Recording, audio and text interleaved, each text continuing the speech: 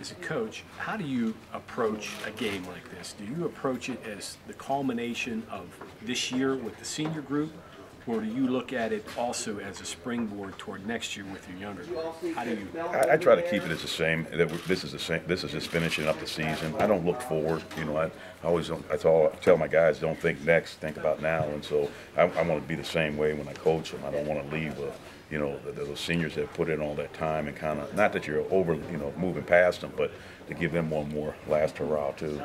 So everything is put into what you can do to win this football game. No question. Yeah. Coach Mark Scott is going With Utah, have you studied them? Give me an, uh, give me some examples. Of, is it, are they BYU similar, or going back to the teams that you played? the Well, they- they- they've got some real. They have two real talented quarterbacks who can really run the, you know, honestly run the ball. They're true dual threat guys, and they get those, you know, nice big long offensive linemen. You know, so they've got really good length up front, good size, and they're older. You know, what I mean, Yeah, they all red shirt, and they all, you know, for one reason or another. You know, I know they, there's missions and all that that goes into into the process, but they're just, you know, they're grown men. They, they, you know, I know a lot of guys think they're young, grown men, but they're just young men at this moment. So you- a little wildcat. You got some play paths, uh, running game. We're going to get a variety of things. Yes. Oh, yeah. There's no question. I think they're running back number two, you know, he, he's as, as, good a running back we've seen. I, I compared him to a lot of the backs that we see in the Big 12 because he just goes hard.